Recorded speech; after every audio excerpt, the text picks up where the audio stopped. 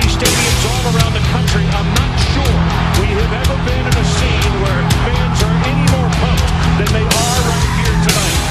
Waiting right now for the Hokies to take the field. They are jumping, they are screaming, and it's been this way for the last 30 minutes. Frank Beamer waits in the tunnel. This is the date that they have picked.